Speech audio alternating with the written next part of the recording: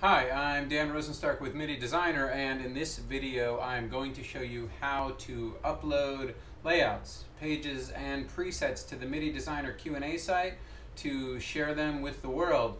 Um, in this video I'm showing a layout created by Jacob Hack of Hack Attack, that's Hack Attack with a Q, and it's a really cool layout to control Korg Gadget and uh, Jacob shared it in a zip file which has some other stuff which is cool.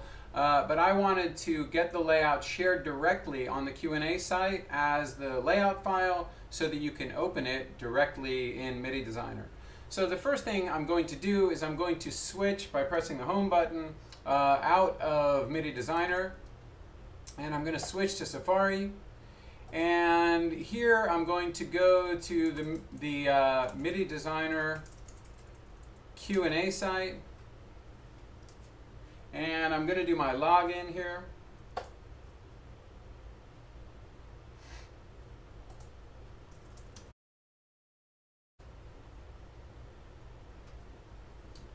And now I'm logged in and what I want to do is I want to ask a question so that's the first thing I'm going to do is ask a question.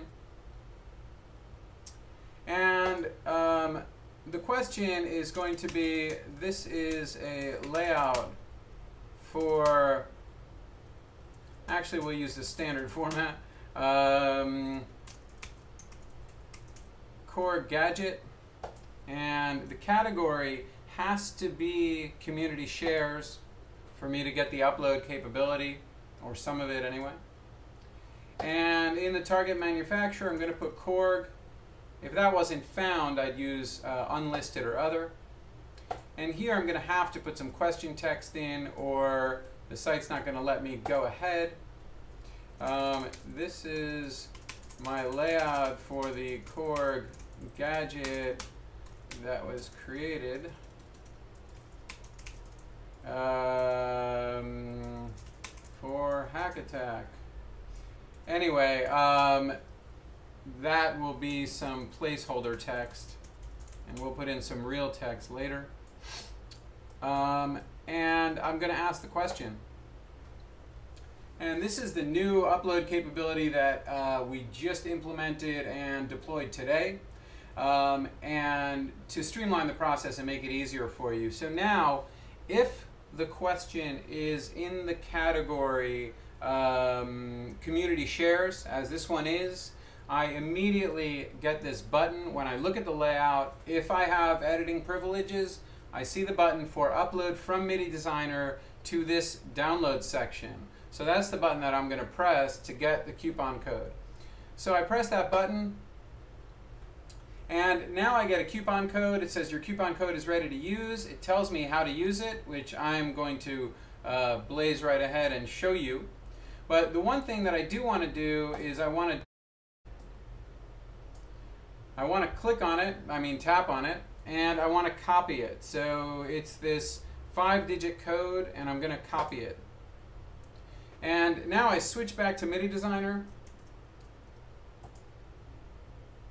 and I'm going to go to connect, which brings me into config, actions, and upload layout. So that's right under config, actions, upload layout, and here it shows me the box for the coupon code. So I just hit the paste button, which is going to paste the, the five digit code that I copied. And now I'm going to hit upload. And here it uploads, says upload complete. So now we can close. And let's go back to Safari and see what happened. So I go back to Safari and I'm just going to refresh the page. And you can see that the layout is here and it's ready to use. So let's test it out.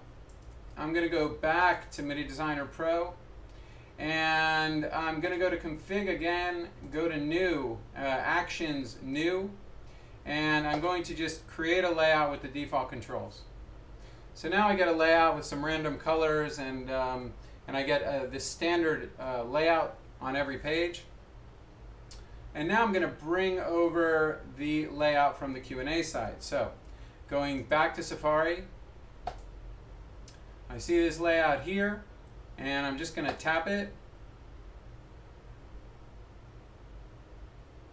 And Safari asks me what I want to do with the layout, uh, whether I want to open it in uh, one of the versions of MIDI Designer that I have, which is not the one I want to use. So I'm going to tap Open In, and uh, this is the testing uh, harness, so we're seeing several versions of MIDI Designer, but I want to open it in MIDI Designer Pro 2. So I just tap that, and here it says append to current layout. I say no.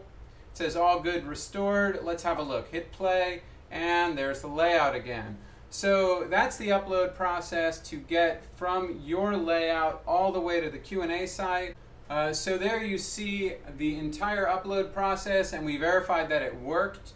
Um, thank you for watching. Uh, thank you Jacob Hack for this layout. It's a wonderful uh, piece to control uh, the Korg gadget. Thanks to Korg for making the gadget. And thanks to all of my amazing community users uh, for, of MIDI Designer uh, for using the app and sharing your stuff. Some of these layouts have taken hundreds or thousands of hours to make. Please check them out at mididesigner.com forward slash community. And thanks for watching, and please hit the subscribe button. Thank you so much.